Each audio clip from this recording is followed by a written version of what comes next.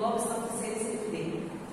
بعد ما خدنا في الدرس اللي اتكلمنا عن في عن الدولة العثمانية وقلنا إزاي حكمت مصر. قلنا بعد مسليم الأول عمل معركة الرجالية ما بين المماليك والدولة العثمانية انتصر فيها سليم الأول وضم مصر. بعد ما مصر ضمت عام 1517 إلى الدولة العثمانية نتج عنها حاجتين. أول حاجة إن مصر فقدت استقلالها، يعني مصر ما كانتش مستقلة. الدولة العثمانية هي اللي فرضت عليها كل حاجة، ده عدم استقلال مصر. تاني حاجة أصبحت مصر ولاية عثمانية، يعني بقت خاضعة على الدولة العثمانية، هي اللي بتعمل فيها كل حاجة. طيب يبقى يقول لك ما نتائج مترتبة على ضم الدولة العثمانية لمصر، أول حاجة فقدت مصر استقلالها، مصر ولاية عثمانية. الكلام ده بعد إيه؟ بعد معركة الريدانية عام 1517. طب لما الدولة العثمانية مسكت مصر وبقت مصر دولة عثمانية حكموا مصر أو مشت مصر تبع نظم إدارة الدولة العثمانية فبقى نظام الحكم فيها استبدادي يعني إيه استبدادي؟ يعني ظالم يبقى يقول لك أكمل أو اختار أو صح أو غلط نظام الحكم العثماني كان عامل إزاي أو شكله إزاي كان استبدادي يعني ظالم نظام الحكم استبدادي طيب إيه هيئات الحكم؟ يعني حكم مصر إزاي؟ حكم حكم مصر باربع هيئات. اول حاجة الوالي أو الباشا. الوالي أو الباشا ده اللي هو المساعد بتاع السلطان العثماني. السلطان العثماني كان بيقعد في عاصمه الدولة العثمانيه اللي هي كانت الأول القسطنطينيه بعد كده بقت الاستانه أيام سليم الأول. كان بيقعد فيها السلطان العثماني وكان بيخلي في مصر والي أو باشا النائب بتاعه أو المساعد بتاعه. الوالي أو الباشا هو نائب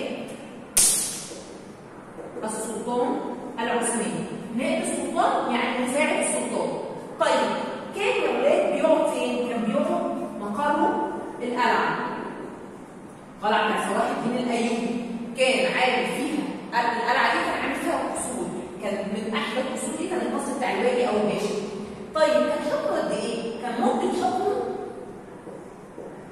من عام إلى ثلاث أعوام من سنة ثلاث سنين ما يعديش ثلاث سنين ليه؟ عشان هو لو عدى ثلاث سنين هو الوالي السلطان العثماني قاعد في عاصمة الدولة العثمانية هو قاعد جوه مصر لو قعد ثلاث سنين كان ممكن ينفرد بالحكم يعني يجمع الناس حواليه وهو اللي يبقى حاكم مصر عشان كانوا ما يخلوش ينفرد بالحكم كانوا بيخلوا مدة الحكم من عام إلى أعوام حتى لا ينفرد بحكم مصر طب إيه مكان يعني كان إيه بيعمل إيه؟ بيعمل أربع حاجات. أول حاجة تنفيذ قرارات السلطان العثماني كان بينفذ قرارات يعني السلطان العثماني وهو في العاصمه العثمانيه كان بينفذ قرارات كان هو اللي بينفذ القرارات دي تاني حاجة يا يرسل الخراج للسلطان إيه الخراج ده؟ دي ضريبه على الأرض الزراعيه ضريبه على الأرض الزراعيه كل سنه كانت بتتبعت للسلطان العثماني فمين اللي كان بيبعتها أو المهام ان هو يبعتها الوالي كان يجمع يجمعوها وهو اللي يبعتها للسلطان العثماني ثالث حاجة يحفظ الامن الامن جوه مصر داخل البلاد خلاص؟ كان في حاجة اسمها الديوان. الديوان ده ولاد زيه زي مجلس الشعب. كانوا بيعملوا اجتماع بيتكلموا فيه عن كل حاجة في مصر. إيه المشكلات؟ إيه اللي هيحصل؟ إيه نعمل إيه؟ ما نعملش إيه؟ كان اسمه الديوان. مين اللي كان بيقول ميعاد الديوان دوت؟ أو مين اللي كان بيقول إمتى الاجتماع دوت؟ كان السلطان العثماني. هو كان الوالي العثماني. يدعو الديوان للانعقاد. يعني يدعو الديوان للانعقاد يعني كان بيعمل بيقول الاجتماع بتاع الديوان ده يبقى كان مهام الوالي أربع مهام تنفيذ قرارات السلطان. يرسل القرار للسلطان. يحفظ الأمن يدعو الديوان للانعقاد. يبقى أربع حاجات كان الوالي بيعملها. طيب يبقى كان نظام الحكم العثماني كان استبدادي. ده نظام. نظام الحكم كان استبدادي.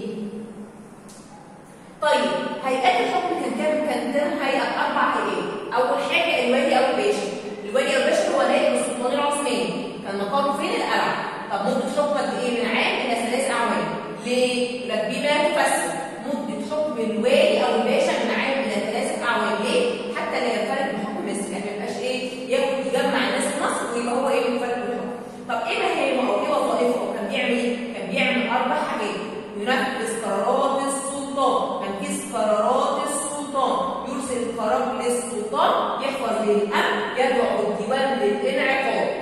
طيب كان إيه تاني هيئه بقى؟ قلنا عليها الديوان. الديوان ده ولاد كان بيتكون من كبار.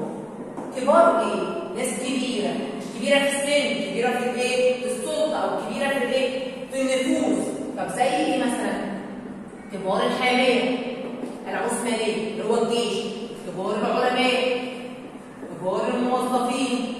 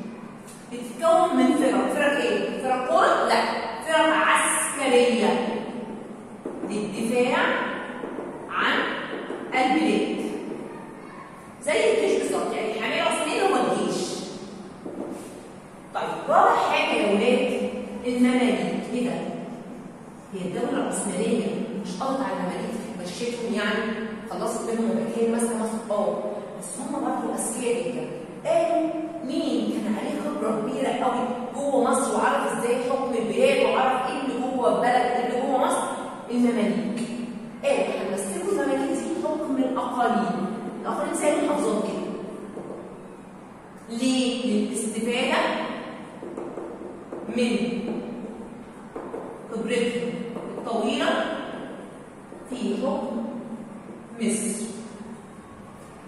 يبقى نظام الحكم العثماني بعد ما الدولة العثمانية أخذت مصر بعد معركة الريدية كان نظام الحكم استبدادي كان كانوا بيحكموا عن طريق نظم إدارة عثمانية تتكون من أربع هيئات أول حاجة الوالي أو الباشا اللي هو نائب السلطان وقرر القلعة حكم من عام إلى ثلاث أعوام حتى لا ينفرد بحكم مصر طب بهاته إيه؟ تنفيذ قرارات السلطان يرسل قرار للسلطان يحفظ الامن يدعو الديوان للانعقاد. طب تاني حاجة إيه من هيئات الحكم؟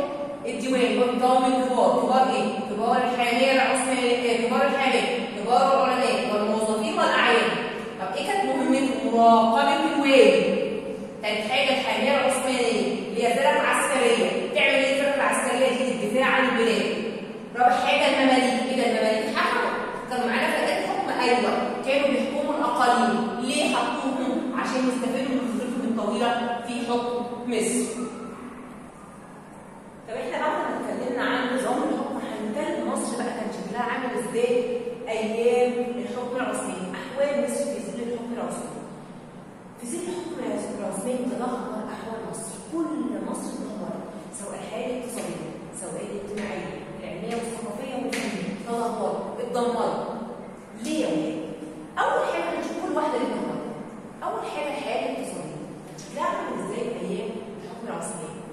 أول حاجة يا ولاد كان في تدهور وإهمال الزراعه تاخر الصناعه وكساد التجاره يعني إيه الكلام ده؟ اهملوا الزراعة وقفوا الاهتمام بالزراعه خالص. ولا بقوا بيهتموا بري ولا إزاي يزرعوا الأرض ولا اهم حاجة عندهم إن هم ياكلوا فلوس ويكسبوا ويشتغلوا على إيه؟ ثروات وخيرات مصر فاخروا الصناعه ما بقاش في صناعه مصانع بقت واقفة وما بقوش بيصنعوا والكلام ده. كساد التجاره يعني إيه كساد التجاره؟ يعني ركود يعني إيه ركود؟ يعني توقف بيع بيع وشراء ما كانش فيهم تجارية بين بلد ومصر الحياة الاقتصادية كانت عندها إزاي؟ كانت عاملة إزاي؟ أيام الحكم العثماني كان في إهمال الزراعة. تاخر الصناعه وانتزاع التجارة. طب الحياة الاجتماعية كانوا عايشين إزاي؟ أول حاجة كان في نظام يفرق بين الحاكم والمحكوم. اسمه نظام طبقي. بصوا عشان إيه؟ جت في امتحان مرة والولاد اتلخبطوا فيها. قال لك نظام الحكم في الدولة العثمانية كان عامل زي في مصر نظام الحكم استبدادي. طب الحياة الاجتماعية نظام عن النظام إيه؟ طبقي. إحنا نفرق ما بين حاجتين. نظام الحكم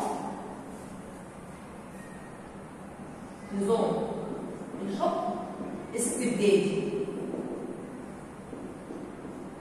النظام الاجتماعي عشان تقدروا تربطوا في الامتحان قبل كده. يبقى الحكم كان بيحكم استبدادي يعني ظالم إنما الحياة الاجتماعية أو النظام الاجتماعي كان طبقي يعني إيه طبقي؟ يعني بيفرق بين الحاكم والمحكوم. اللي بيحكموا فوق والمحكومين تحت. اللي بيحكم الحاكم يتمتع بخيرات البلاد طب المحكوم؟ محرومين من خيرات البلاد يعني المصريين محرومين من كل حاجة كل الثروات والخيرات بتاع مصر محرومين منها طب اللي بيحكموا بيتمتعوا بكل خيرات مصر يبقى النظام الاجتماعي أو الحياة الاجتماعيه كان نظام طبقي يفرق ما بين الحاكم والمحكوم الحاكم يتمتع بكل خيرات البلاد والمحكوم محروم من كل خيرات البلاد طب الحياة العلميه والثقافيه تدهور الحياة العلميه والثقافيه تدهورت ليه؟ إيه اللي حصل؟ اول حاجة يا ولاد خلوا التعليم بس في الازهر الشريف يعني ولا في مدارس ولا جامعات ولا اي حاجة من الحاجات دي كلها التعليم اقتصر في الازهر الشريف بس اقتصر في الازهر الشريف ليه اقتصر بس في الازهر الشريف لا ده اقتصر في الازهر الشريف على إيه الفقه والتشريع اللي هي إيه وحفظ القران إيه الفقه والتشريع دي الاحكام في الدين احكام الدين الاسلامي إزاي إيه حكم إيه ده بيقول لك له مثلا حكم إيه طب ده المفروض دوت يعمل إيه هي إزاي ي- الاحكام جوه الدين الاسلامي اقتصر الازهر في الازهر الشريف التعليم على الفقه والتشريع وحفظ القران بس كده لا واهمال العلوم العقليه زي الرياضيات زي العلوم اي حاجة فيها تشكيل دماغ وقفوها اهملوها وتوقف التأليف محدش يألف مش عايزين تشكيل دماغ خالص عايزين كله يحفظ حفظ حفظ احكام تشريع فقه بس يبقى احوال مصر في زيل الحكم العصري كانت متدهوره الحياة الاقتصاديه كان فيها اهمال الزراعه تاخر الصناعه تسيير التجاره طب الحياة الاجتماعيه كان نظام طبقي يفرق بين الحاكم والمحكوم طب الحياة العلميه والثقافيه اقتصر التعليم في الازهر الشريف على دروس الفقه والتشريع وحفظ القران واهمال العلوم العقليه وتوقف التاليف طب الحياة الفنيه بقى تدهور الحياة الفنيه إحنا قلنا ده كل احوال مصر دهور تدهور الاحوال الفنيه ليه؟ سليم الأول يا ولاد ارسل رساله سليم الأول امهر الصناع والحرفيين إلى الاستانه الاستانه كانت عاصمه الدولة العثمانيه في أيام سليم الأول. دي كانت عاصمة الدولة العثمانية. إنما أيام محمد الثاني أو محمد الثالث كانت القسطنطينية. سليم الأول لما اخذ أخذ القسطنطينية خلاها سماها إيه؟ استانه اللي كانت أصبحت عاصمة الدولة العثمانية. طب عمل إيه تاني سليم الأول؟ استولى على التحف والمخطوطات. أيام المماليك كانت مزدهره جدا جدا جدا. كان في تحف ومخطوطات وكانوا بيهتموا بالفنون وبالعمارة وبكل ده كانوا بيهتموا بيه. لما جت لما جت الدولة العثمانيه مسكت مصر استولت على كل التحف والمخطوطات أيام المماليك خلاص يقول لك طب إيه الاسئله زي في الحته دي يقول لك إيه برهن على تدهور الحياة الاقتصاديه في مصر في زيل الحكم العثماني يقول لك إيه اهمال الزراعه تاخر الصناعه تزيد التجاره برهن على تدهور الحياة الاجتماعيه في زيل الحكم العثماني كان النظام طبقي يفرق بين الحاكم والمحكوم. برهن على الحياة العلمية والثقافية في الحكم العثماني اقتصر التعليم أثر على والتشريع وحفظ القرآن إهمال العلوم العقلية وتوقف التأليف. طب